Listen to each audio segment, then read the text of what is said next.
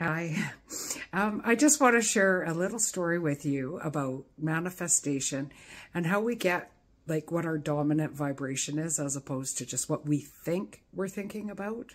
Okay. Um, now this happened to me last year and in March I had to come up with like a hunk of money for stuff around my strata. And then in June I had car insurance. August I had house insurance. I was getting my website redone, so that was another chunk of change I had to come up with. Then I had another assessment at my strata in September. So I had all of these extras, okay? None of them were humongous, but it was it was enough, right? Like you know, you're not taking that out of all your regular income that comes in every month. Anyway, so I was of course, right? It's like, oh, I'll just manifest more money. And I was. I was manifesting more money. But I was also concerned, right, at all of these extra expenses. And like I say, none of them were huge, but it was just like, oh, now this thing, now this thing, now this thing. Every month I've got like an extra expense that's like a couple of grand or a thousand dollars or hundreds, right? Anyway, so of course, that was kind of my dominant vibration, right? When I was being conscious of it, I was thinking about where, like, bringing in money and manifesting money. Now, when I was being unconscious about it, I was thinking about what a pain in the butt all of these extra payments were, okay? So anyway, so in August, I go for a hike with my friends and we go into the middle of the forest and I was driving and I'm backing up and it was a sunny day and it was up a dirt road so my car my back window was all dusty and everything. And I'm the sun shining in and I'm backing up and there was a big dumpster there for bears okay? Those things are very very heavy duty dumpsters right? And wouldn't you know it I backed right into the thing. And I backed into it rather hard because I couldn't see it at all.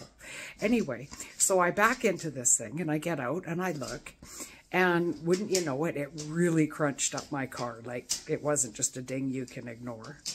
So I phoned my insurance company and everything and I had a $500 deductible for the trunk of my car. And I was like, okay. So rather than, I, I you know, this has been my life for decades now, right? So I don't go into a victimhood mode. I go into a holy moly was my, like my vibration is one of, I've got all of these stupid things I have to pay for. And they're stupid things, and none of them were huge, but they were all a pain in the butt. They all took a little more than, than just my regular income and everything else.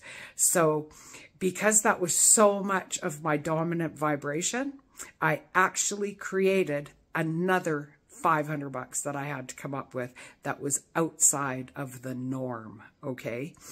So if you're trying to manifest something and you know, like you're you're trying to manifest money, but your dominant vibration and thoughts and feelings and the feelings that have all of that energy with it, good or bad, um, are of all the bills you have to pay, right?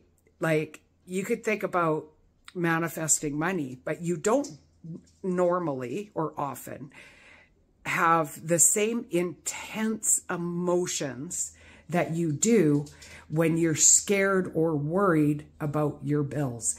And it's those intense, repetitive feelings, thoughts, and emotions that are going to manifest for things for you, okay?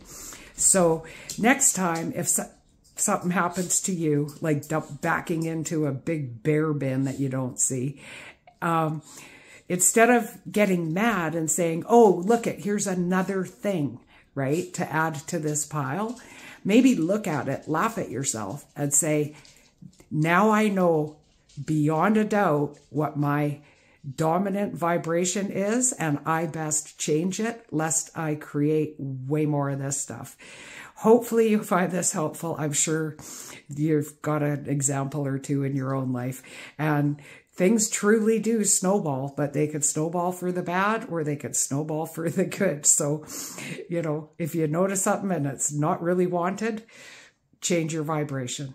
Okay, till next time, much love.